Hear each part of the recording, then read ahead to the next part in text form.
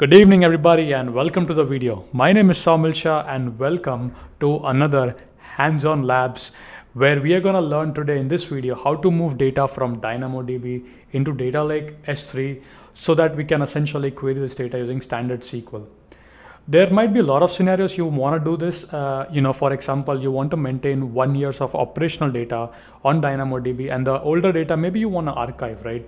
or maybe you want to run some sort of analytical queries on other basically columns, right? So in those scenarios, having data on the data lake, dumping Athena on the top of that, and then you can build beautiful dashboard using QuickSight.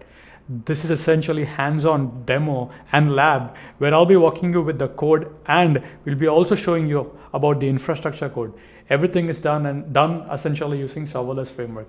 So let's get started and I hope you enjoy the video. Uh, for this video, this is the table that I have and all the labs, uh, all the lab code is there. So don't worry and let's focus on learning. I have a table that is essentially called my tables, right? And all, all that has basically has some data in DynamoDB, which we are essentially want to move to data lake. So the first thing that we will do, uh, please come on to the lab number 23. And again, I, as I said, I have provide, I'm going to provide you all the code, right? So the first thing that you want to do is you want to run the file called um, publish uh, data.py. This will essentially create a DynamoDB table and publish some fake data. So we could perform our um, ETL job, right? So again, uh, I have run the data, uh, sorry, I have ran the script and this essentially has populated my DynamoDB with some fake data uh, as you can see in this uh, screen. All right, now let's move to the serverless uh, framework and this is where all the magic happens, right? And I'll try my best to go one by one and show you what, what's going on. The first thing that I do is here, I'm creating a glue database. Uh, and again, the value is coming from an environment variable called db name. So again, I'll show you that. So uh, that's my database name called sample db. So I want to create a glue database first, okay? uh, back to my YML file, I'm collapsing that. Now, what this does is essentially, this is essentially a crawler that's gonna crawl on the DynamoDB table to essentially identify the schema. So this uh, crawler will essentially populate the metadata. Think of it that way. Uh, so here we are saying crawler as AWS Glue. We provide the database name, we provide the crawler name. And remember, again, uh, I'm using all, um, and uh, every, I'm not hard coding. Uh, essentially, everything is in env. Okay, so now what we are doing essentially, we're providing a role, a schema, and your target is my DynamoDB. So what this does is essentially this will create essentially a catalog. So essentially this will identify the schema in the DynamoDB and essentially create a table in my glue uh, stuff, right? So that's that. And if I wanted to show you um, on my screen, hopefully, so here if you if you see, uh, you'll have a you, you you'll have a crawler named DynamoDB schema crawler. You will run that and what this will do is it will create a table called my table and essentially will populate the schema. So you need to run that. So uh, let's move on the code on the next section. Once uh, the schema is identified, we want to run a glue job, right? So now, which is where gluejob.py does the job for us, right? Uh, this is a very simple job. What it does is essentially reads the data. As you can see, it's reading the data from the catalog, right? So uh, applies a transformation. So again, in this case, I have three columns, right? Based on whatever columns you want to select, uh, uh, essentially we are applying mapping here. And then the, here is my destination, which means glue job is going to run and take the data from DynamoDB and dump it on S3, okay? Uh, so that is what it does. And after that, what we need to do is we are essentially have a simple glue crawler that's going to run on the data lake. So this will populate uh, again, it, this will create essentially a new table, right? So uh, when you uh, essentially, uh, you know, I have already deployed the entire stack here. As you can see, this takes usually time. So I have deployed this uh, uh, in well in advance. And over here is my, as you can see, I'm defining my glue job. So this will essentially deploy my glue script to AWS. And the goal is to try to avoid using console and write infrastructure as code, right? So again, uh, very easy. Here we have a glue job. We have a script path, right? We're specifying the glue version, the role, maximum concurrency, number of workers, timeout, retry, and essentially my uh, local glue job file, which is called glue, uh, glue underscore job.py. Now, uh, as, as easy as that, you will run this, uh, you know, you'll say SLS deploy. Now, what this will do is uh, you will see a database called sample DB and you will see two crawlers here. Now, in order to make this work, what you need to do is first you need to run this crawler. So you'll click on the blue button. I've already ran the crawler and this will populate a table here. So now when you go to table section, you will see my tables and you will see essentially the schema has been identified. Uh, going back to crawler, now once the schema has been identified, now click on job legacy. This is where your AWS glue job uh, will be there, right?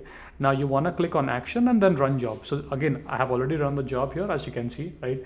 Uh, once the job is complete, now you wanna go back to the crawlers and then you wanna run the S3 crawler. Now, what this will do is essentially it will create a new table uh, in your uh, glue data catalog, right? And now when you can go, now you can go to Athena, that is, uh, and I'm selecting my database as sample DB. And then here is my, you know, uh, table that was, uh, you know, populated by uh, glue crawler, right? And here you can see now I can query my DynamoDB data uh, in um, Athena using a standard SQL. There are other ways as well. You can use Athena federated query to query the data. But if you have a use case where you need to bring data from Dynamo to S3, this is how you would do it. Now, do remember when you try to run this project, uh, you might have to do a couple of changes here and the, the and I just wanted to uh, run by all the changes, right? So the changes that we are talking about is the S3 bucket, right? The bucket name has to be unique globally, right? So when you, again, when you clone the project and when you try to run this project, make sure, uh, again, in the env, uh, you need, uh, you essentially need um, an S3 bucket. So you might want to go and create that using a console or I, or I could have added in the YML file again. I could create a resource object, uh, right? I would, I can easily do that, right?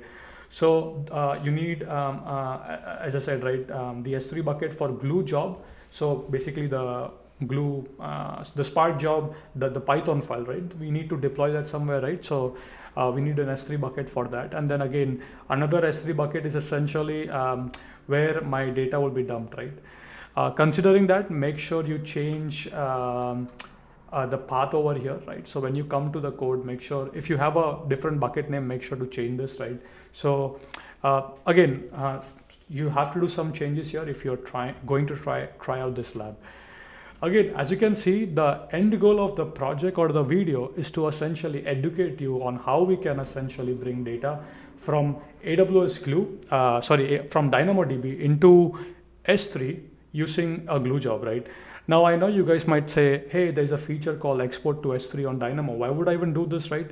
Well, that's great. It will essentially dump the data in DynamoDB JSON schema, which means if you try to run Athena crawler on that, you won't be able to query the data using a standard SQL, which means you need to run a job to essentially, you know, clean the data, normalize, and then uh, essentially do it, right? So the entire source code is there. I strongly encourage if you want to learn this, download the lab 23 go slowly one by one and try to see the code what i have done how i have done and actually try it out. That's the best way you can learn. And if you get have any more questions let me know your question in the comment section and i'll be very very happy to answer all your questions. Thank you so much. Happy learning. I hope you will enjoy this lab. So this lab will teach you how to move data from dynamo to s3 create glue crawlers. Um, so again, as I said, there are a lot of components in uh, in this project or lab. Uh, Glue crawler is one of them, DynamoDB is one of them, S3 is one of them, deploying Glue script is one of them, and then running everything and then seeing things in action. Thank you so much. Please uh, download the lab, and there are a lot other labs. If you want to learn more about serverless framework, AWS, go to my YouTube, and I promise you will find a lot of amazing tutorials. With that being said, thank you so much for watching. I hope you have enjoyed. I'll see you guys in the next video.